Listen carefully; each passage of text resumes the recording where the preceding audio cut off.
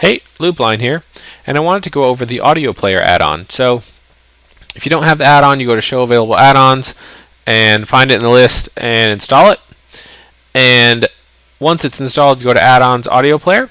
So as you're working away, you can listen to some music and manage playlists and that sort of thing. So if we click add audio files, just grab some. We can uh, just go ahead and start one playing. Uh, we can open playlists, save playlists, pause, resume, stop, um, just click through to get different ones. We even get an equalizer where we can mess with stuff.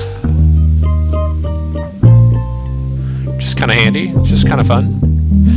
And so you get the point. Um, you can also control the volume, which is nice. Get little bars down here, uh, even percentage signs. So uh, it's kind of nice if you want to go through and just have some music playing while you are working away in Scrapebox. And that is the audio player add-on.